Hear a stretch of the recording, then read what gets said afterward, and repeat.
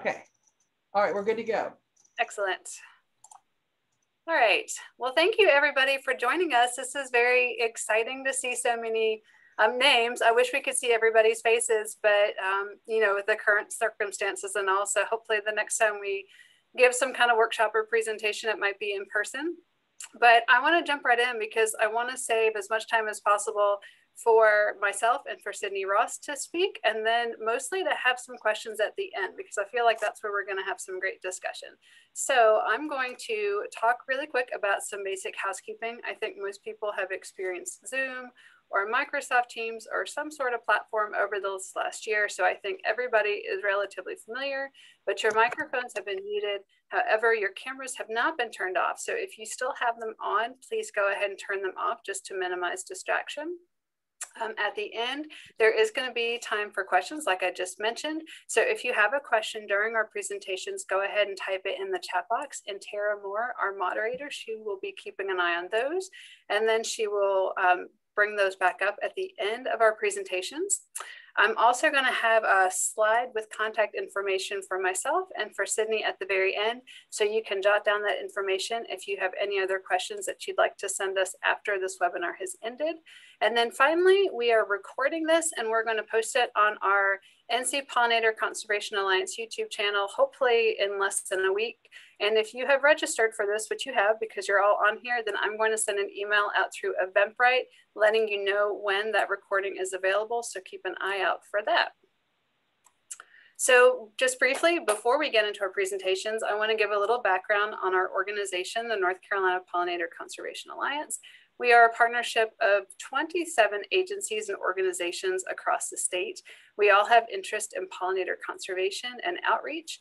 We have six committees listed here below, plant resources, outreach, habitat assessment, research, energy, and pesticide stewardship. So these webinars that we've been hosting are through our outreach committee. And I would say that that's really a huge bulk of what we do. You know, there are so many different organizations in the state, so it can be confusing to go to one entity and get some guidance or some input and then go to another organization and get some a little bit different. So the hope of this partnership is to really send a unified message of, of pollinator conservation. And so it's our hope to do this today in this webinar. This is our website, pollinator, ncpollinatoralliance.org. Head to that site, check us out. We're still building it, so give us a little bit of grace and patience. We're also on social media on uh, Facebook and Twitter and Instagram. And then, like I mentioned, we have a lot of partners. So this is just a really brief glance at some of the partners or most of the partners that we work with. We're so fortunate. We have a really diverse group of organizations that have so much expertise and knowledge that really make this group move forward and accomplish a lot of great things. So just a really quick glance at our agenda. Sydney Ross, she is gonna kick us off and talk about Mosquito Management 101, everything that you need to know about mosquitoes and their management. And then I'm going to end our webinar talking about just some basic pollinator biology, as well as some pesticide-free um, mosquito management alternatives. So these are our speakers. Like I said, Sydney, she'll kick it off. My name is Gabriela Garrison. I will end the webinar and we have Tara Moore from the Wildlife Federation keeping an eye on our chat. So that is all I have. Sydney, if you wanna go ahead, let me stop sharing. Sydney, if you wanna take over and then we'll get this show on the road.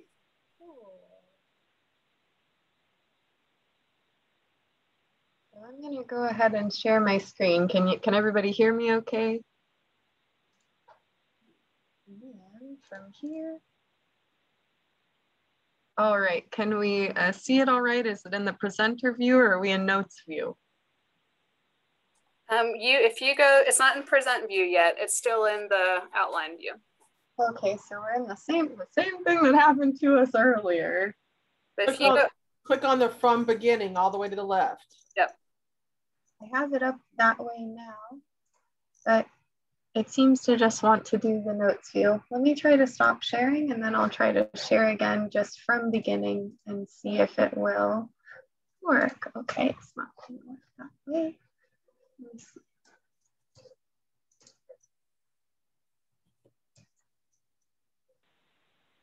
On one second.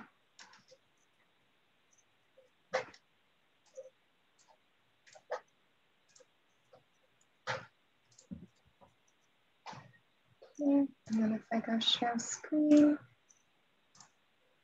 Okay, can you see it all right? Or it's good? Good, I see some nodding. So we'll go ahead and get started. So uh, thank you for that nice introduction, Gabriela. Um, my name is Sydney Ross. I work for the North Carolina Department of Agriculture's pesticide section. Um, I did notice that we do have quite a few people on here who are not in North Carolina.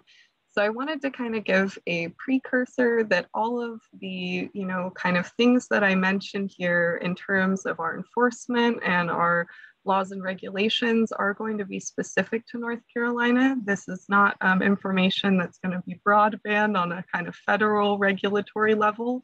So do make sure to kind of note that the laws and regulations um, that I'm going to briefly touch on are going to be specific to us here in North Carolina in terms of um, kind of what I do for the state, so um, our department regulates pesticides in um, North Carolina, and specifically, um, I kind of act as our pesticide operations specialist, which means that I answer all of the complaint calls related to outdoor use of pesticides in the state, and then we'll go ahead and kind of delegate those um, complaints out to our inspectors if let's say we need to further investigate, which means that I also kind of manage our case files and things like that. Um, so that's going to be kind of the standpoint from which I'm speaking today. And I'll go ahead and try to slide, go to the next one here. So in terms of what we're talking about, um, I'm going to give you kind of a um, sort of broad, I'd say, spectrum picture here of what happens in the mosquito industry my goal through this presentation is to arm you with knowledge so that if you do, let's say, kind of run across a mosquito application, you understand the type of equipment that they use, the standpoint from which um, the commercial mosquito industry does control. And then we're also going to kind of go into specifically um, a little bit about the types of products that are used so that you're familiar with the types of products that are used commonly in the mosquito industry. And I'm gonna um, also kind of touch a little bit about the different types of applications that happen and the types of applicators. We're gonna talk a little bit about IPM and the types of control. We're also gonna talk about how applicators choose a product. We'll touch on pesticide labels and toxicity. And then finally, I'm gonna give you um, a little bit of a picture of kind of how our state regulates mosquito applicators. So starting off here, we're gonna keep it really broad, like I said. So what is a pesticide? So a pesticide is any substance or mixture of substances intended for preventing, destroying, repelling, or mitigating a pest. And you'll notice here that I've kind of uh, taken this from our North Carolina pesticide law, which is kind of where we derive our sort of basic laws for pesticide regulation in our state. And I also think it's important to note here that pesticide is an umbrella term. So a lot of times when we say pesticide, we're thinking an insecticide, we're thinking something that kills an insect, but pesticide is actually a sort of a broad term that kind of is like I had mentioned. So any type of product that mitigates, repels, kills a pest. So a pest could be a weed, it could be, you know, a bacteria, it could be a fungus. And also make a note here too that pest is subjective. So for example, if let's say you have a pollinator garden and you know you specifically planted red clover so that um, the bees will come and forage on that plant there are other people especially for example people in the golf course industry who might say oh no that clover is actually a weed so they'll apply an herbicide or some type of a pesticide to get rid of it and there are a few things, of course, that are included in this definition that are not just kind of our insecticides, herbicides, fungicides. We also have plant regulators. These um, kind of regulate the growth of plants, defoliants, desiccants, um, bactericides. So anytime you use Clorox bleach, that is actually a pesticide. So just good things to kind of note here. In terms of what our section does, we have two um, specific sections within the Structural Pest Control and Pesticides Division. Um, we have a whole entire section that deals with indoor use of pesticides. Um, so this is going to be focused more on termites, extermination, things like that. And then we also have a section, our pesticide section, which is who I work for, that deals with um, outdoor use of pesticides. You may be wondering, where do our laws come from? Earlier, I had mentioned the North Carolina Pesticide Law of 1971. Um, this was brought in through um, the General Assembly in 1971, and it's a place where a lot of our laws kind of stem from. So we have kind of the way that our department functions, how people get certified, things like that is kind of built into this law. And of course, this does occasionally get revised and changed. But in terms of our violations, these actually come from the North Carolina Administrative Codes um, Food and Drug Section, subchapter 9L, which is sort of their specific regulations to the pesticide section. So this is where a lot of our regulations come from. In terms of kind of the other functions of our department, we do um, field monitoring. So um, every pesticide applicator within the state gets inspected by our inspectors. Um, we also do um, licensing of these um, applicators. And beyond that, we register pesticides. Normally, if we were in person, I'd tell somebody to shoot a hand up and ask how many pesticides do you think are actually registered each year within our state? Um, since we don't have that option today, I'll just tell you that it's about um, 13,000 pesticides get registered each year within the state of North Carolina. So as you can imagine, this is kind of covering a broad array of different types of pesticides. And, and we kind of see everything from the kind of most toxic conventional sort of pesticides all the way to our more natural or 25B type products. And I'll talk to you about that a little bit too.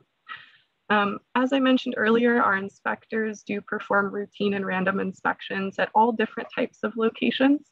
Before I was moved into the office, I was an inspector out in the field for almost three years um, and kind of covered the commercial sector. So talking to landscapers, non-licensed retail outlets, pesticide dealers, things like that, municipalities. But then we also have some inspectors that do, of course, go to farms, nurseries, greenhouses, and those larger growing operations. Um, finally, in terms of pollinator protection, which I think is why most of us are here today, um, our department manages the FieldWatch program, which is a way for beekeepers and people with specialty crops to go ahead and register their hives or their specialty sites to a map so that people who apply pesticides can kind of mitigate drift. And now we're kind of getting here into why we're actually here today, which is for mosquitoes. So um, the first thing I wanted to do is kind of give you a brief overview of mosquito biology. That way we understand the insect that we're talking about. So mosquitoes go through complete metamorphosis. What this means is that they go from their egg stage into um, several larval stages to ultimately become a pupa and then pupate into an adult. Um, there's also incomplete metamorphosis in which um, the insect kind of goes through nymphal stages that look exactly like the adult. In terms of you know the amount of eggs that our mosquitoes lay, it really depends on the species. But sometimes, and I'd say broadly, it's between 40 and 100 eggs per egg cluster. And of course, the females are responsible for laying those eggs. Once the eggs kind of hatch out, they develop into the four larval stages that I have pictured up here. And another important thing to note about mosquitoes is that most species, if not all of them, do require water to survive. So that's why we kind of hear water as a, really essential part of um, development of the mosquito. In terms of our most common species in North Carolina, that would be the Asian tiger mosquito, or, um, and I might butcher this, so I'm very sorry, but um, Aedes um, albopictus. I think we um, didn't do the best job there, and I do apologize. Um, but that would be our most common species. And overall in North Carolina, it's common to see about three or four different species of mosquito, but I didn't go ahead and list all of the names out here, just kind of wanted to give you the most common one that our mosquito applicators kind of focus on. And um, in terms of, you know, who we're actually targeting when we talk about, you know, mosquitoes being a nuisance or let's say a viral infection type of insect, we're actually targeting that adult mosquito. Our male mosquitoes are really only there for the purposes of reproduction. A lot of times they actually are kind of feeding on sort of the nectar of flowers or other, you know, type of smaller arthropods, things like that. So really it's adult mosquitoes that we're kind of looking to target when we're talking about mosquito control. There are a few different types of groups that make mosquito applications. Of course, we have our homeowners. These are going to be individuals who, you know, might be concerned about mosquitoes as a nuisance at the place where they live. And then we also have our public health departments or municipalities who will maybe apply mosquito control as a routine sort of process as part of their employment or after a natural disaster. And then finally, we also have our commercial applicators. So these are going to be individuals that have been hired to perform a service. In this case, it would be to apply mosquito control type products um, for compensation on somebody else's property. Um, within North Carolina, we have two different types of commercial applicators, our structural pest control, as well as our outdoor mosquito um, type of applicators. So I'll, I'll tell you a little bit more about those as well, but just know that we kind of have two categories in which mosquito applicators commercially fall into. In terms of our homeowners, of course, there's going to be uh, many different types of control that we see. So there's things like using personal repellents. So this could include, I'm sure most of you are familiar with DEET, um, it also could be, you know, that individuals will wear permethrin treated clothing, or they're using maybe a more natural, what we call a 25B product. So this is a natural quote unquote type pesticide that doesn't require formal pesticide registration because it has sort of a less harmful type ingredient also kind of common in the sort of homeowner sphere. Um, we have area-wide repellents like citronella candles or diffusers um, granular insecticides, um, specifically larvicides. I'm going to tell you a little bit more about that in the future as well, um, or insect growth regulator products. So um, homeowners, homeowners are very common to kind of use mosquito dunks or try to treat areas where larval mosquitoes might kind of be hiding and hanging out. And then apart from that, um, also, you know, we have the kind of cultural methods of control. And Gabrielle is going to talk a little bit about this in more depth, but you know, kind of reducing standing water or cleaning out gutters where standing water might be present. Um, one thing to note here is um, homeowners do not require a license to make pesticide applications within the state of North Carolina. I get this call all the time. You know, my neighbor is outside spraying for mosquitoes. Does he need to have a license? No, he does not. Um, so it is important to kind of note this. Um, of course, our commercial applicators do require a license, but we'll get to that here in just a little bit. Um, and the other thing kind of to note that I always try to mention throughout these presentations is that, you know, if you do try to treat your house yourself, please make sure that you read the pesticide label. Um, labels are incredibly important to follow if you're going to be using any type of pesticide product whether or not it's a mosquito applicator, you know, type product, or if it's something you're applying to your pet. So do make sure to read the pesticide label.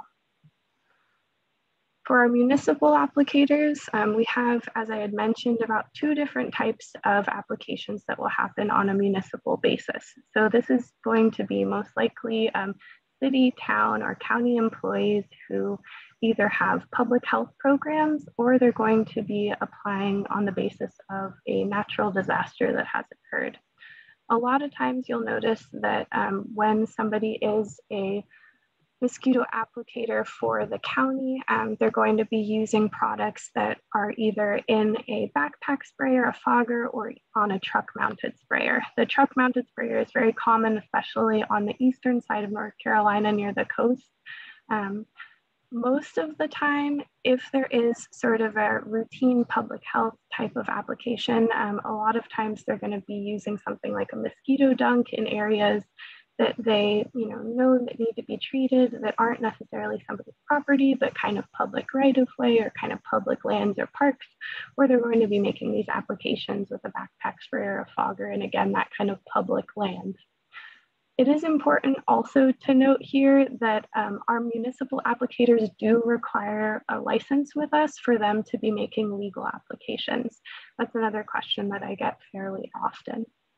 And apart from that, you know, the reason why we kind of have these types of applications occurring is because, you know, they oftentimes are less of a nuisance, which is kind of where the commercial applicator comes in, but more so to reduce virus pressure. So from a public health standpoint, they're looking to reduce the number of mosquitoes so that they can also thereby reduce the amount of affected cases that they might have within that county. And then we're kind of moving on here to sort of the thing that we're going to focus on the most in this presentation, which is commercial applicators. So of course, our commercial applicators do require to have a certification with our department. Um, they can either be certified, like I had mentioned earlier, through our structural pest control department or through our pesticide section. Um, they are required to abide by all label requirements. It's a violation of the law if they do not. Um, and this includes, you know, wearing the perfect type of PPE that is specified on the label, um, the specific rate that they're using, applying to the correct use site, these types of things.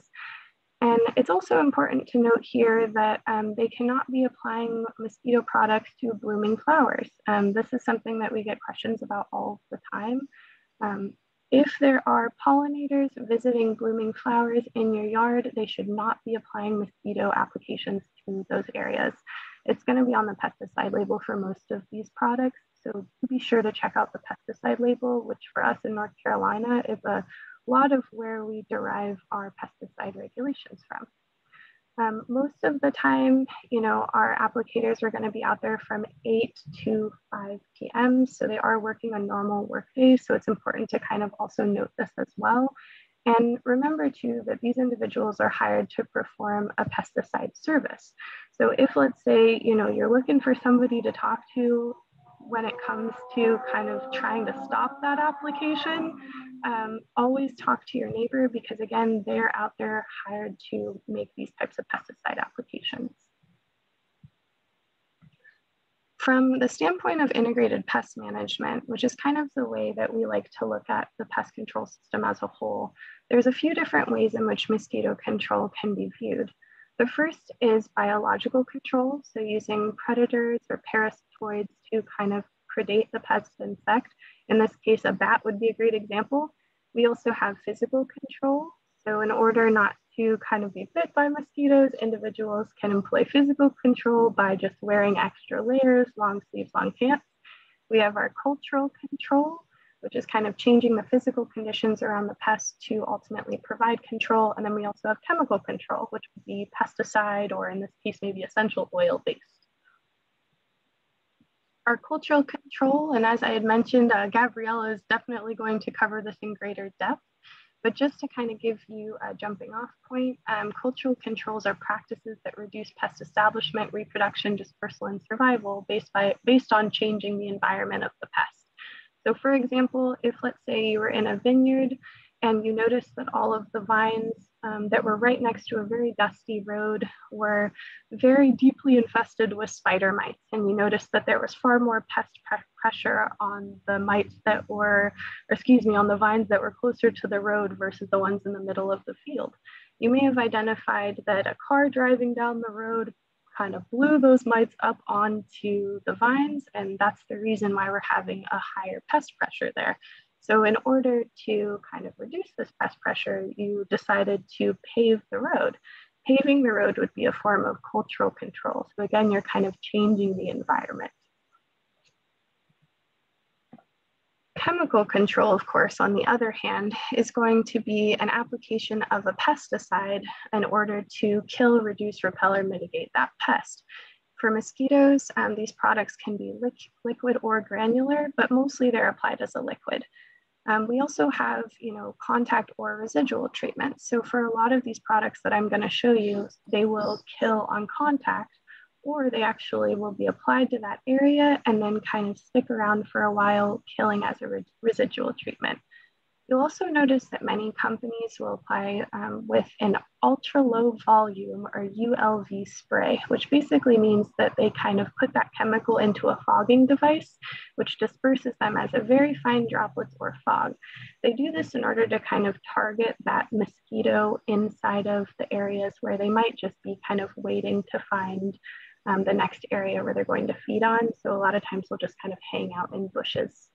And so that's why they're gonna go out there and kind of fog those areas. We have uh, two different types of chemical control that can be used. We have our insect growth regulators and our insecticides. These would be kind of widely the two ca categories I'd classify them in. So for insect growth regulators, these will actually um, kill the insect by disrupting the hormone system inside of the insect. Examples of these would be methoprene or pyriproxyfen. And then we also have our sort of more normally formulated insecticides.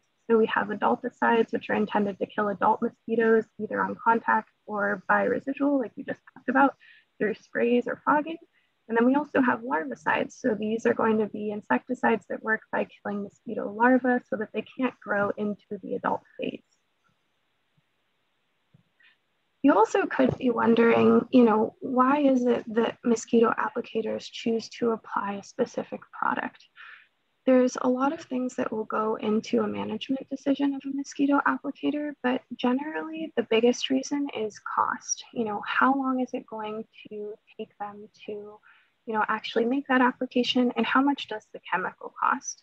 Um, of course, they're also going to consider things like, is there a lot of standing water that should be treated? Is there a large amount of vegetation? What time of year is it? And how large is that area?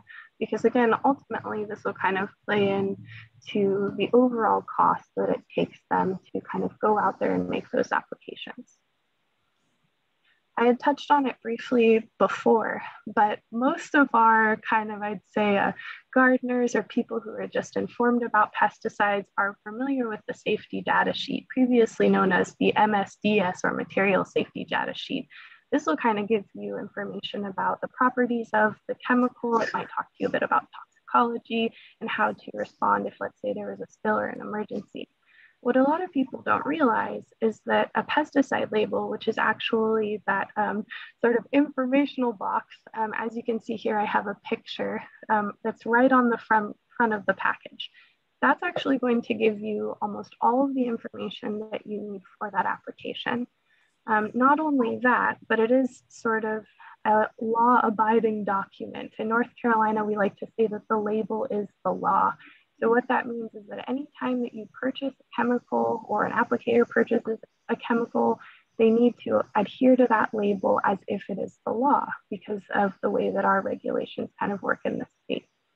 If you are going to be, you know, just kind of arming yourself again with information, always check to see, you know, what product is it that they're using. Find out what the EPA registration number is because this will tell you that specific chemical formulation and then using the product name and the EPA registration number, you can pull up the pesticide label and you can print it out to look at you know, important sections like environmental hazards, precautionary statements, and you know, kind of consider pollinator protection while you are reading that pesticide label.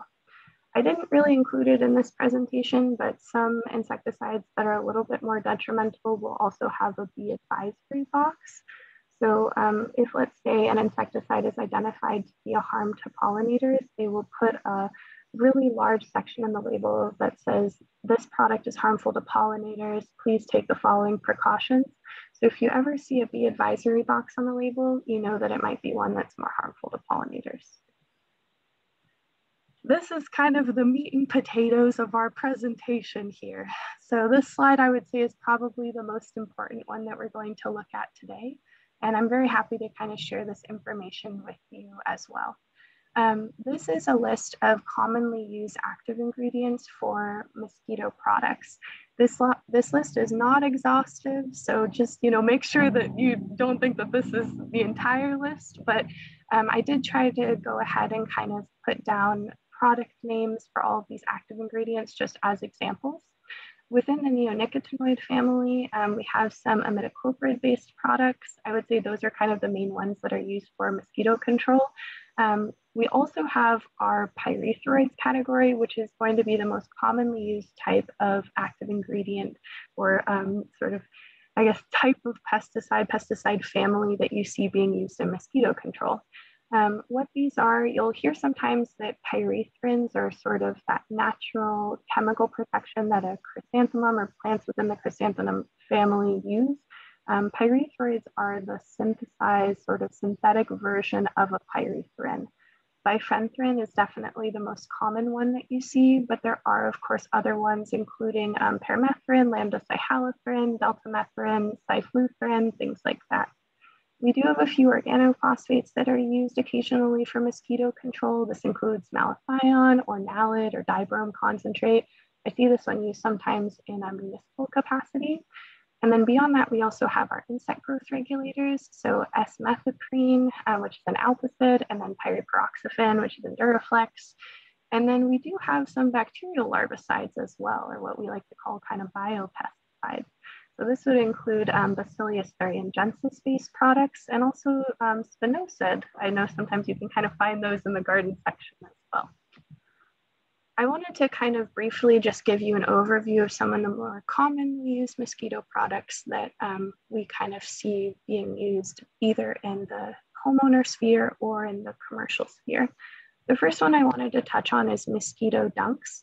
Um, what these are are a sort of Bacillus thuringiensis granular larvicide that works by killing mosquito larvae in standing water. Um, you pretty much will look at the area square footage um, and people will go ahead and kind of treat the area based off of the square footage of standing water that they have. They are um, kind of labeled as being relatively non-toxic bees, but they can affect the larvae of some other species.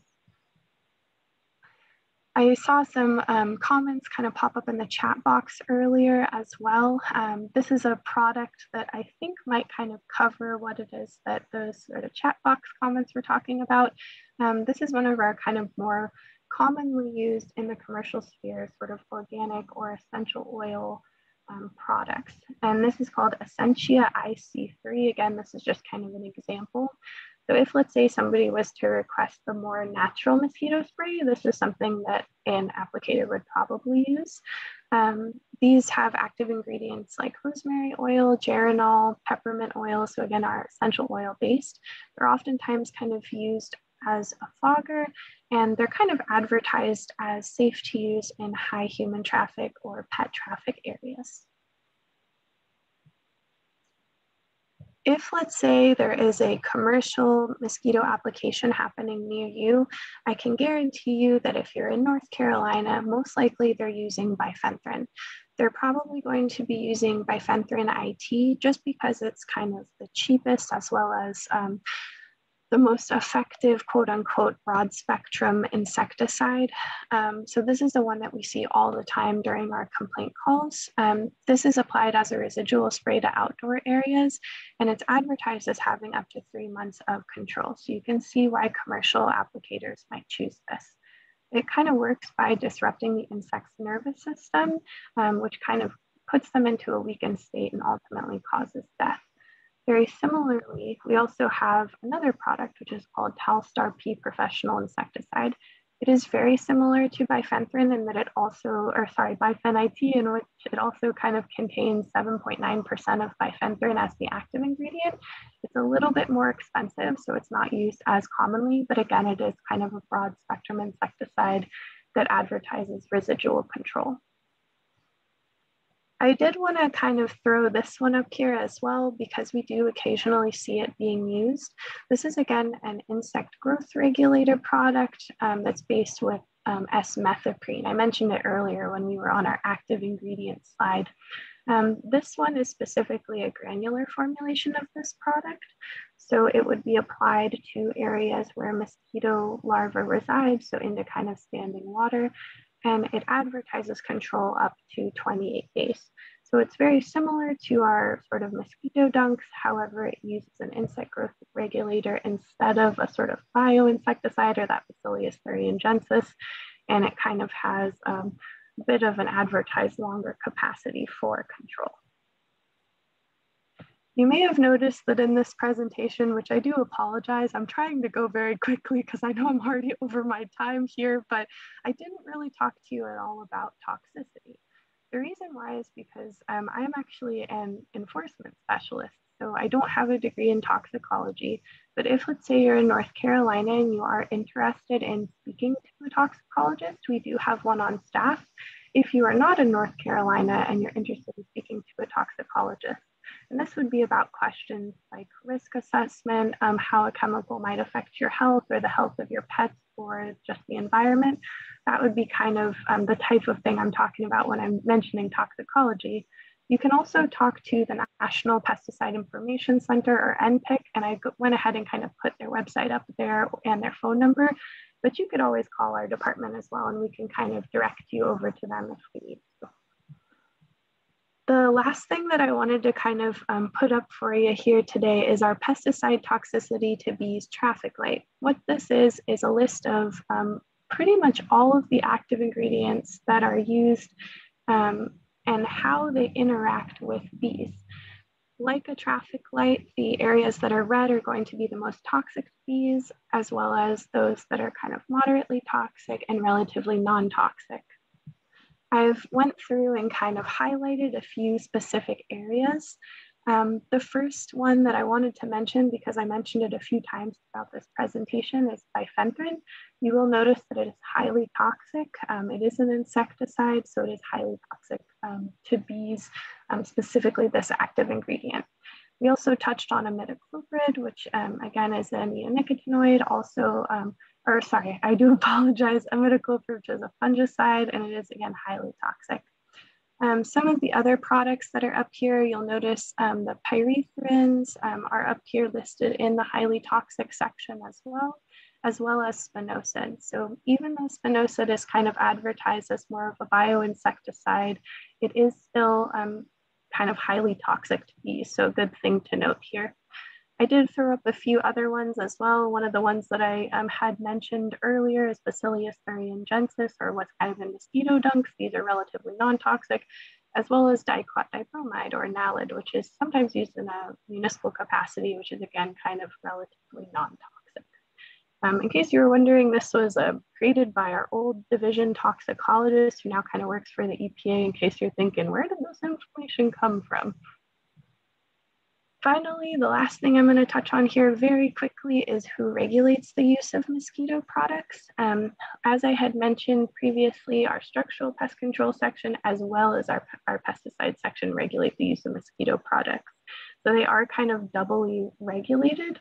Um, for structural applicators, they have to have what's known as a P phase or household pest control. And then for outdoor pesticide applicators, they have to have a public health category on their license to apply for mosquitoes. And um, it is kind of important again to remember that if let's say you rent or own a property, you do not require a license to make those types of applications.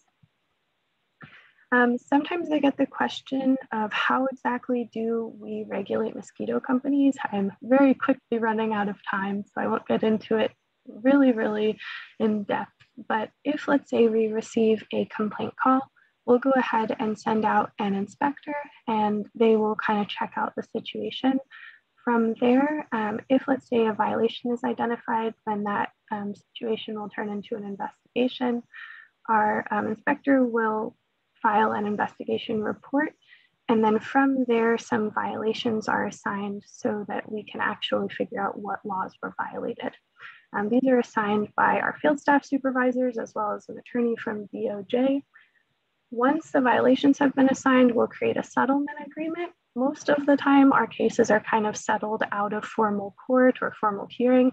And so we will kind of settle them through a settlement agreement with that applicator who sort of violated the law. If let's say that applicator accepts the settlement agreement amount, then it'll go to the pesticide board, which is a group of seven individuals sort of appointed by the governor from the pest control industry or the pesticide agriculture industry at large um, who will kind of make decisions and see if they agree with the settlement agreement.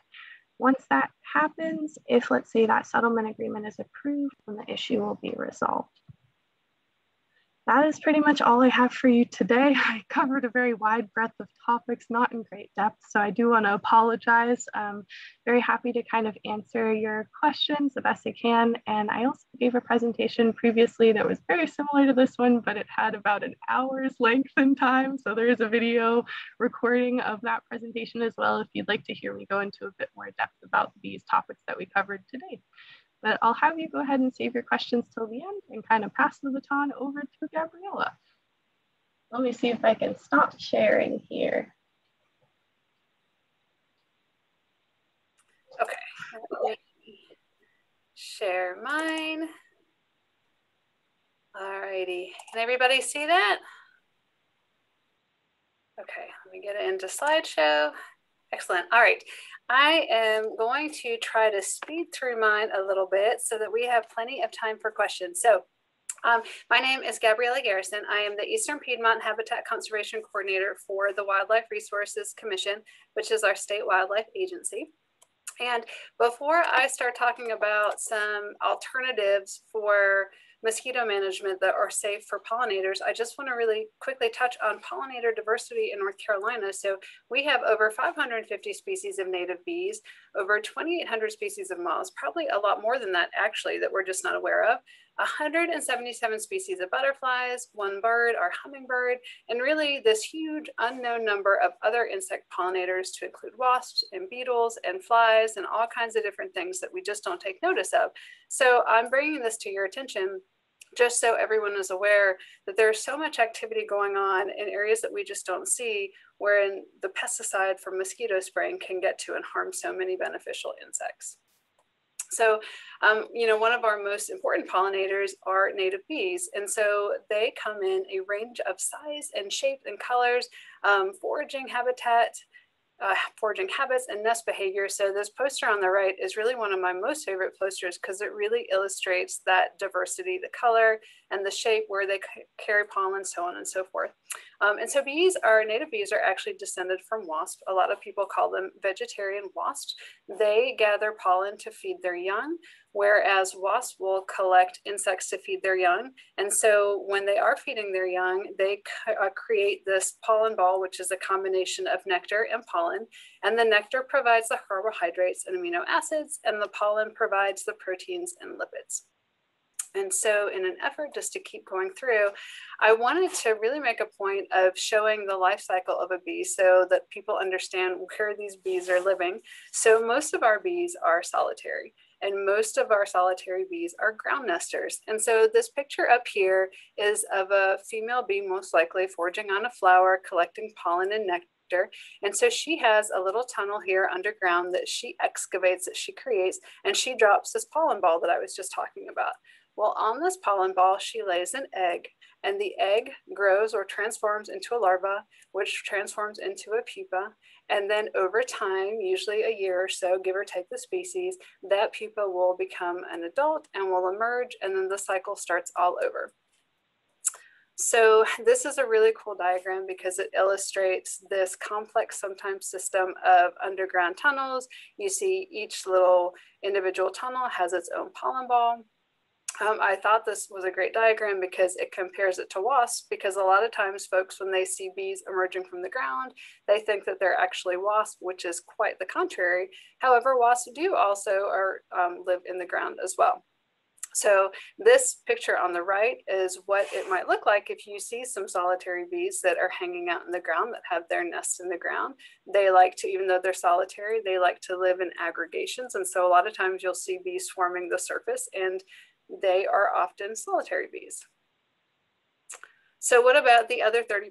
70% are ground nesters. Well, the other 30% are cavity and stem nesters. And those are, for example, our carpenter bees, bumblebees will tend to find a little hidey hole, an abandoned rodent burrow. Sometimes you'll find bumblebees in a bird box. Um, they're very opportunistic. Leafcutter bees, they will nest in hollow stems. Um, mason bees the same. That's where a lot of people put out bee boxes to attract those mason bees and leafcutter bees. And then this is the life cycle of a bumblebee. So like I mentioned, um, they will find a little hidey hole in the ground. You'll see the queen buzzing around in the spring. She's collecting pollen and nectar to create her colony, to start her colony. Um, and over time in the spring and early summer, she'll start laying more eggs um, that will feed on the pollen and nectar that she's been collecting. They will become workers. And then eventually in the fall, the workers will die off. A new queen will be formed. She'll overwinter by herself and then she'll emerge the following spring. So again, oftentimes they nest in little holes underground or right at the surface, but sometimes they are in bird boxes. So the message is that they can really be anywhere. Bees can be anywhere. It's amazing.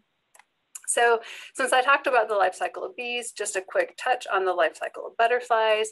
Um, this is a, a, cycle of a monarch. Everybody is familiar with the monarch, I think. She will lay her eggs, usually on the underside of a leaf, like this picture here.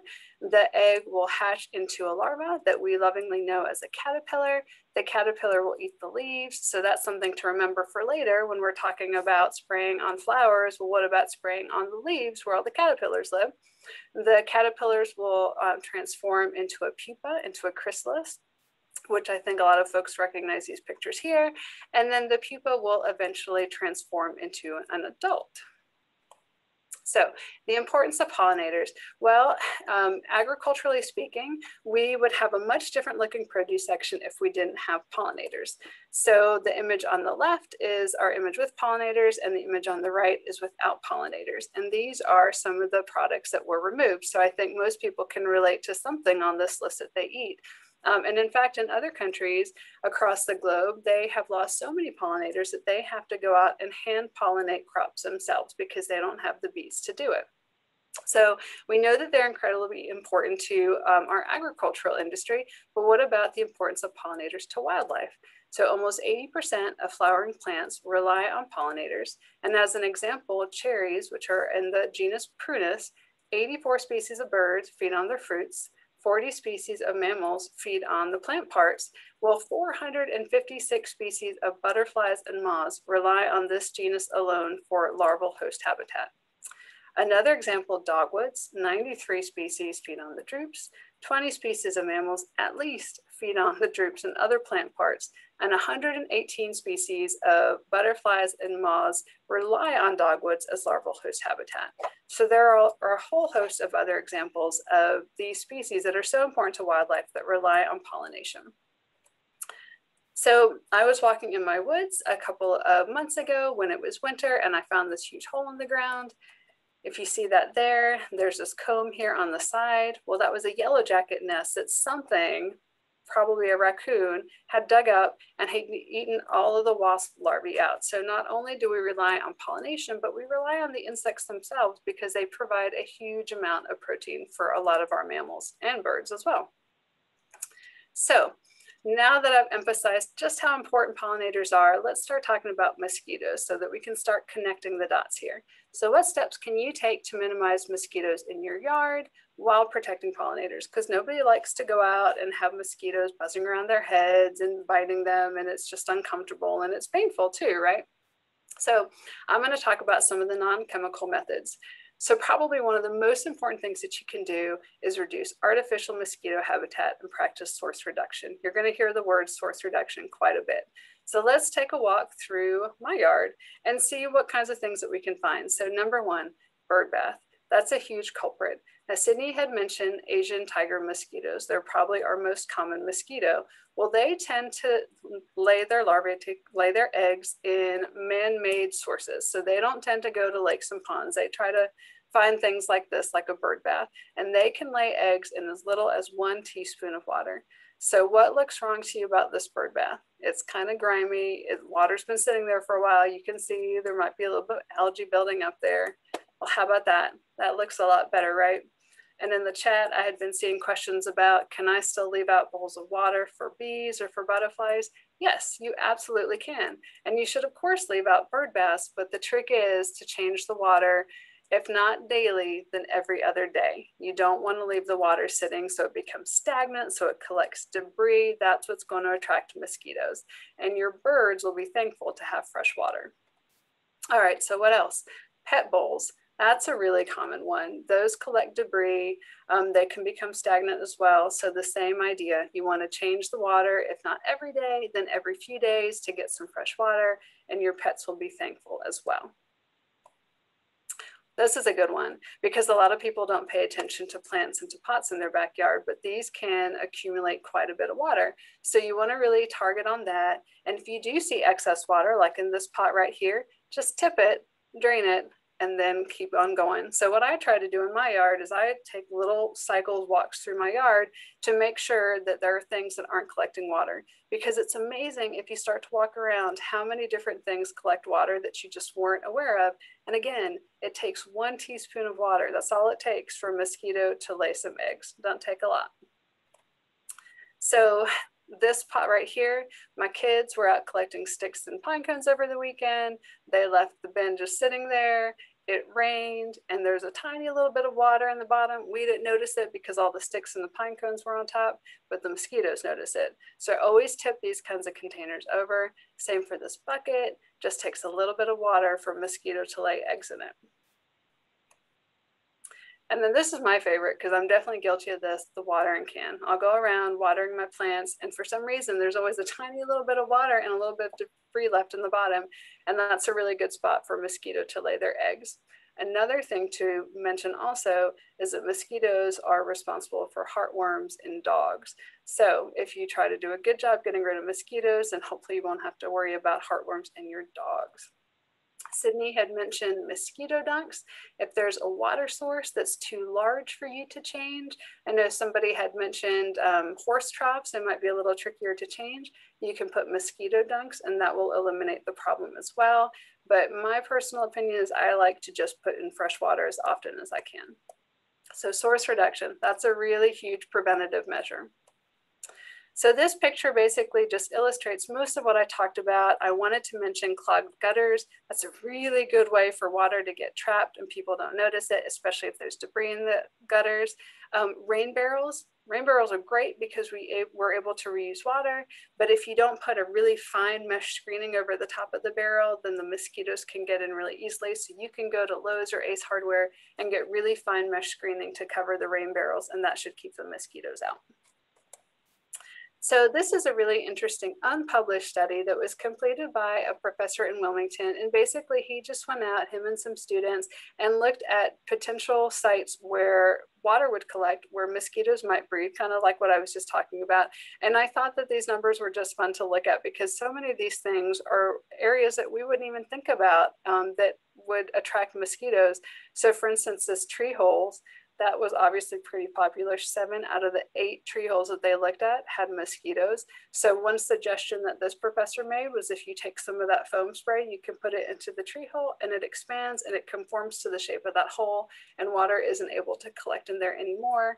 Some of the things that I mentioned that had high numbers, plant dishes, 33 out of the 48 plant dishes that they looked at had mosquito eggs, bird baths, Tires is another one that I didn't mention. There's just all kinds of little places in your yard that water can collect and attract mosquitoes. So Sydney mentioned this briefly, and there was some chatter about this as well in the chat about natural enemies. So if you have a healthy biological system, if you have a healthy wetland system, there are actually very few mosquitoes that you find in wetlands because there's so many natural predators, dragonflies, beetles, other insects, amphibians, bats, birds. Um, so it's a really effective way, and I'll talk about that in a minute, if you wanted to build a pond to potentially keep mosquitoes at bay bat houses, I think I dropped a link in the chat about um, some information on what type of bat house you can build, where to locate it. Brown bats can eat a lot of mosquitoes, but the thing about bats is that they're generalist feeders, right? So they love mosquitoes, but they love other insects too. Um, in addition to the fact that Asian tiger mosquitoes are active a lot during the day and bats aren't. So there's not gonna be that crossover. So while bats are a really good um, predator, they're not going to eliminate your mosquito problem altogether.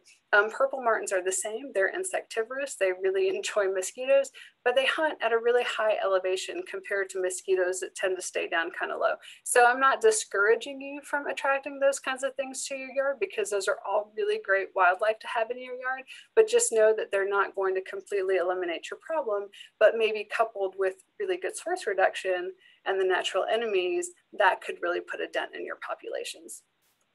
Okay, so in your yard, wear long sleeve shirts and long pants. If you choose insect repellent, this is a good website that has listed out some repellents that are considered safe and how to apply them.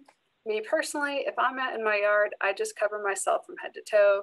I know when it's a July day and it's 98 degrees outside, that's not the best thing to do, but honestly, I just kind of have acclimated to it and I'd rather do that than put on bug spray. Um, if you're just sitting on your back porch, mosquitoes are very weak flyers, so you can put a box fan or some kind of fan and keep that on your porch or keep that on yourself and that should help as well. Um, and then if you have ground cover, and I'm looking at all the non-native plant species like English ivy and pachysandra and other things that form that really dense kind of thicket, because a lot of our native ground cover, they don't form necessarily that thick um, dense cover. If you thin out that English ivy or whatever is on the ground, that's going to help too because mosquitoes like those thick, kind of moist-ish areas to hide out in. So if you don't give them a place to hide, they're going to go find somewhere else. Um, I had mentioned building a pond. This is a great publication on how to do it. I put a question mark because you have to be really clever with how you build your pond. Because if you don't use the right plants and you don't use the right methodology, essentially you're kind of just creating this large uh, source of stagnant water. So if you're going to do it, I think it's a great idea, but just make sure that you proper you follow some really good um, directions on how to do it and how to attract all those right predators to your yard to eliminate the mosquitoes. So um, I can drop this in the chat box again as well so that you have a chance to copy it down and take a look at this publication. It's very helpful. All right, so I'm gonna try to end on um, community management plans my suggestion would be to talk to some of your town leaders. If you're in an HOA, talk to the HOA leaders because really mosquitoes obviously don't know property lines, right? So you can do all of these great things in your yard, source reduction, um, you know, wear the proper clothing, thin out your ground cover.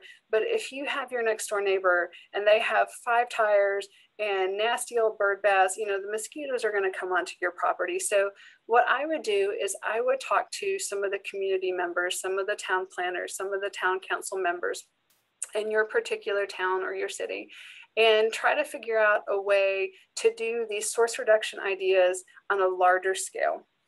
And so the essence of this document, which I have the website where you can find this document right down here, um, is to monitor and to find hotspots and the mosquito, mosquito species that really tend to spread the bad diseases. And so what they recommend is that you find those hotspots and you track the seasonal changes and look at what the surrounding community looks like if there are a lot of those natural predators. They also talk about disease surveillance, collecting actual mosquitoes to see if those are areas where there are high hotspots for disease, and also again to look at the other wildlife in the vicinity. They talk a lot in this document about source reduction, how important it is on a broad level, so that again, you're not just doing all this work just to have your neighbor's mosquitoes coming over and biting you nonstop. Um, public education, that's huge. I think we've talked about that quite a bit so that people know what they're dealing with, what they're battling. And then this idea of natural enemies creating and protecting these wetland areas. Because again, if you go out into a wetland and it's a healthy, sustainable community, you're not going to find that many mosquitoes because there are dragonflies, there are frogs, there are lots of things that are naturally looking to eat mosquitoes. And so they're not going to be that many present. So if you know how to correctly create, enhance, or sustain that kind of habitat, you're going to minimize the mosquitoes that you have. So steps moving forward. It takes a village. Again, talk to your neighbors about source reduction. Talk to your community leaders about source reduction. If you were spraying or spraying is happening around your house and neighborhood, what are some things that you can talk about with your neighbors? Sydney was talking about this briefly. Spray when the bees and the insects are less active, which is early in the morning, late in the afternoon.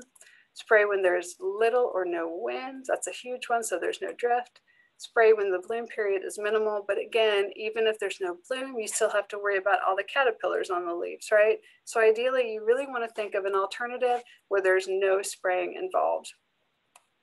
And that's where those community management plans come in. There are several towns and cities across the country that have followed the ideology in those management plans and have really been able to knock back their mosquito population without doing this broad level spraying. They've done target spraying. They've targeted those hot spots where they have found this huge bulk of mosquitoes, but they've been able to avoid those massive aerial sprays where we see so many bee die-offs.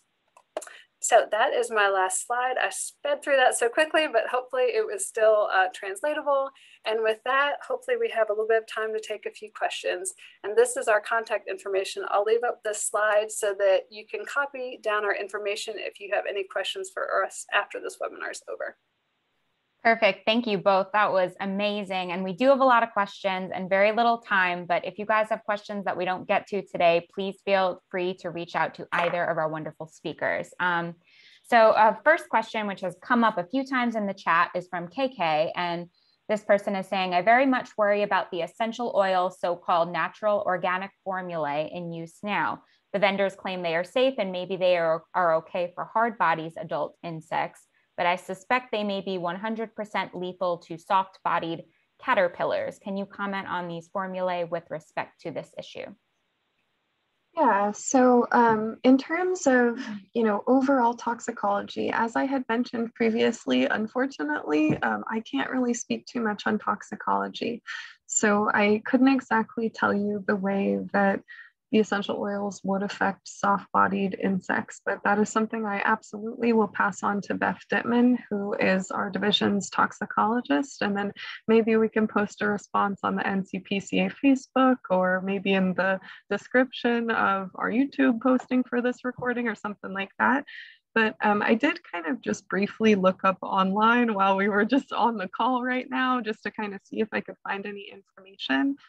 And it does look to me from a few kind of, you know, EDU type sources that um, essential oils would be effective as repellents or pesticides for, you know, soft-bodied um, sort of larval forms. So things like caterpillars and things like that. So I would say most likely probably, but I will get back to you with a much better answer than that. Okay, great.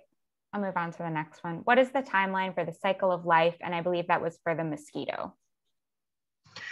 Ooh, the timeline, that's a good one. So um, it is the first few days. So they'll lay their eggs and they can hatch out within 24 hours.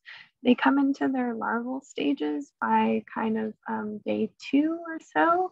And then beyond that, it really only takes them about seven days to kind of come into their adult life cycle. Um, but this is again going to be dependent upon the species of mosquito that you have. And then also it's dependent upon the environment. Um, if you're ever interested in looking up kind of how insects actually kind of progress into the next forms of their life cycle, um, definitely look up information about degree days because it's kind of based off of, you know, how hot is the area, you know, is the temperature going to slow down their life cycle progression or speed it up? So definitely look up more about degree days, but I won't bore you with that stuff right now. Great. Is there anything to add for Gabriela at all? Or okay, okay, great. Um, we had a few questions about bats, which I think we covered with the resources sent over, and then we had some muddy water small dish questions, which also pretty much got covered. Um, we do have a question from Carol who asked, can we get a review of the info about commercial applicators not being allowed to spray areas with the blooming flowers?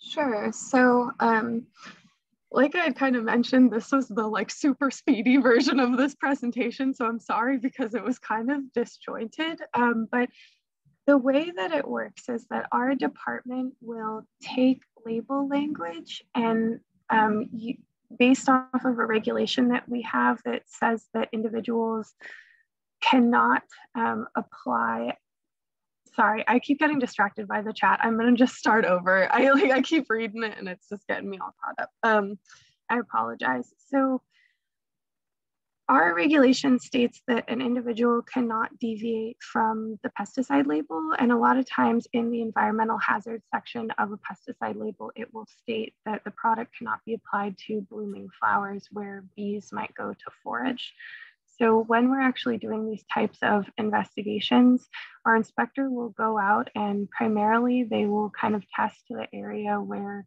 the product was applied to see if we can kind of, you know, get sort of a picture overall of, you know, this area was the target area where the pesticide was applied. And then we'll also kind of consider pesticide drift. Um, if let's say they actually applied the blooming flowers and it comes back positive in our sample results, then we know for sure that they violated the pesticide label there. Um, there are also scenarios where the pesticide will kind of just drift. And so again, we'll kind of, um, you know, take samples, take photos. But if let's say they apply to a backyard where there are pollinators actively visiting the blooming flowers, then that's kind of, you know, how within the investigation we would assign a, a violation. Um, that's the briefest kind of description that I could give. I hope that that gave more information on it. Yeah, that was great. Um, and kind of just following up on that, if a commercial company is spraying in a tree above above blooming flowers, um, is that is that allowed? Is that not allowed? Well, So a lot of these mosquito fogging um, backpack sprayers, um, we went ahead and looked them up once and based off of kind of the throttle, if they were at full throttle um, being sprayed at full capacity, they potentially could reach 30 feet up into the air from the point of that backpack sprayer. So it's very possible that if they're spraying up into the trees and it's kind of got blooming flowers right below, then most likely I would say yes, they are probably going to be contacting those blooming flowers. Um, again, it kind of is based on the type of product that they're using. So does that label language exist on the product label? And then also, you know, are those flowers located within the backyard of the individual that asked for the treatment and is paying for them to be on site? or is it you know somebody who's in the next yard over and it actually drifted and again would be an illegal application so it's all very site specific but if you ever have specific questions you could always send me an email we could talk about it Great. Thank you, Sydney. Um, and I know we're at 206. We'll try to get to just a few more questions quickly. Um, and then any other questions can just follow up with our speakers. But um, going off of the last one, is there any requirement regarding inclement weather and application? If there's a storm beforehand and someone sprays? So um, I would say the amount of moisture that's present doesn't really have anywhere that it fits within our regulations, but we do look at things like wind speed. Um, if let's say somebody made an application excuse me, and then there was a large storm that happened right afterwards. Um, runoff could be an issue, and that is something that we certainly consider. But I would say if you know we're thinking about it before the application, that's not really something that's in our regulations. Um, a lot of times, the pesticide label will actually also specify um, at what wind speeds you're able to apply a pesticide. Um, most of the time it'll say under 10 miles per hour, but again, it's kind of specific to the product. So what we would do is kind of pull up weather data from that day. And then we would also pull up the pesticide label and kind of compare the label language to the actual scenario. But we do see, especially in issues with like herbicide applications, which isn't exactly relevant to us today, but um, sometimes you'll see after a large rain that the herbicide actually washes out and through runoff, we see damage kind of wherever that pathway was. Great. Thanks. Thanks, Sydney. Um, we had a question about rain barrels and using dunks, um, and I think that that was covered already. Um, we do have a neonicotinoid kind of two-part question here. Um, so um, I keep seeing seeing posts about the neonics being used on garden center plants, so they will kill pollen, so they will kill pollinators for a little while after purchased or planted. Comments on that, and then do neonicotinoids affect the larvae of dragonflies? So um, I did try to kind of find a little bit about neonicotinoids and dragonflies online again while uh, Gabriela was speaking, but um, also not being a toxicologist, I just don't really want to make a comment on it um, just because I wasn't really find, able to find any kind of adequate information there. But I will certainly kind of talk to our toxicologist and see what she says about that question. Um, in terms of, you know, the situation with neonicotinoids being applied to nursery plants. So it is possible that they may have used neonicotinoids in kind of the growing stages of the plants um, before they actually made it out to retail nurseries. But I would say it is fairly uncommon, at least in North Carolina, for you know retail spaces like Home Depot or Lowe's, where they really are just purchasing plants that have already been grown to kind of apply a pesticide after they've already been purchased. It's kind of more of a they just want to retail, get it out to the consumer.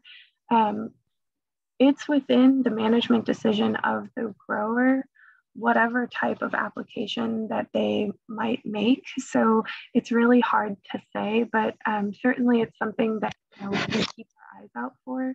We did have one scenario, which just might be kind of an interesting uh, thing that you might want to know about. Um, we had an individual who had applied pyriproxyfen, which is one of those larvicides that I mentioned earlier, to some um, nursery plants. And um, he also was supplying brood packages for hobbyist beekeepers out to individuals for sale.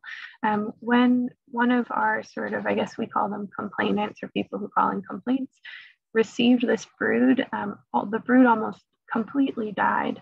And when we went and kind of looked around at the area, you know, what was actually applied, it turned out at this nearby nursery that, you know, there was a situation where they had applied this pyriproxyfen, you know, larvicide. So it is something that we see occasionally where in these specific instances, um, the bees will go out and they'll forage and they'll bring back something that is um, exposed and kind of contaminated with pesticides. But in terms of answering that question on a whole, I would say I'm, I'm sorry, but I can't really speak too much beyond just specifically what we got going on in North Carolina. That's great. And I'm just going to get to two more questions and then we're going to cut it off here. I know we have many questions in here, but this is a Gabriela specific question. Could you please repeat what nutrients bees get from the nectar and which from the pollen? Yes, so that's a really easy, quick question. From the nectar, it's carbohydrates, and from the pollen, it's um, protein and lipids, essentially. Awesome, thank you. And then we have how how do garlic-based sprays impact pollinators? That is a great question. Again, it's kind of a toxicology question, so I can't really answer um, that one. But again, we'll kind of go ahead and ask the toxicologist, and I can tell you what she says. Um, great. Also, uh, sorry to cut you off there, Tara. Um, saw a note that bleach will kill mosquito larvae. Um, it is possible, but as with anything that is a pesticide, which again, bleach is a pesticide, please be careful with your use of it. Um, you know, if you're putting it in an area, uh, maybe go go lighter than heavier is what I would say. But again, you know, I'm, I'm not too sure about that one, but just be careful. Okay, great. Yeah, and we can just finish this up. I just, um, there's this one question that's kind of a concluding question. So which of the pesticides is the safest for bees, butterflies, and caterpillars? Um, so I guess this is kind of like a takeaway question on what we can all kind of gather from here. Should we is there one particular one that people can use or should we be going the non-pesticide route here? Hmm, I don't know. Gabriela, do you want to? Yeah. So, so I'm gonna um, I'm gonna circle back to that community management plan because I really want to emphasize that again, mosquitoes don't know property lines. And so it really has to be a community effort. And I think that there are some really good success stories from other cities and towns across the country, not little towns, but, you know, um, Boulder and a city in New Jersey that they've been able to put in place this community management plan where they're doing a lot of surveys and targeting where the hotspots are um, and doing targeted treatments. And so I think with the outreach of people knowing about source reduction um, and this targeted um, uh, targeted hotspot areas, I think that there's really a way to minimize how much pesticide you use. Because I think in backyards, you shouldn't have to use any. I don't want pesticides anywhere near my yard. I don't want to have to worry about my neighbor drifting their pesticide into mine. So in my opinion, ultimately, um, I don't think that any pesticide is safe for our pollinators because like I tried to mention in my presentation, they're everywhere. They're in all the nooks and crannies. So there's really no safe um, chemical that you can use. It's not going to affect some kind of beneficial insect somewhere. Um, but I guess let me go ahead and wrap it up. So um, I put our contact information in the chat. It was on the screen. Please feel free to reach out to us. And I'm going to send out an email through Eventbrite to all the folks that registered when our presentation is posted online. If there are any other burning questions, send them to me and I can also include them in that email I send out to Eventbrite uh, registrants so that everybody can see the answers. That will hopefully be in the next week or so. So again, please feel free to reach out to us afterwards. Um, we're very grateful that you came. We're sorry we couldn't answer all the questions. We would have had to have done a three hour webinar, I think. But thanks so much to Sydney and to Tara, and thanks to Debbie Roos for hosting us um, through Zoom through the NC Cooperative Extension. We're so appreciative for that. And with that, I think I'm gonna let everybody go since we're 15 minutes over our time. Thanks again. We appreciate it. Thank you.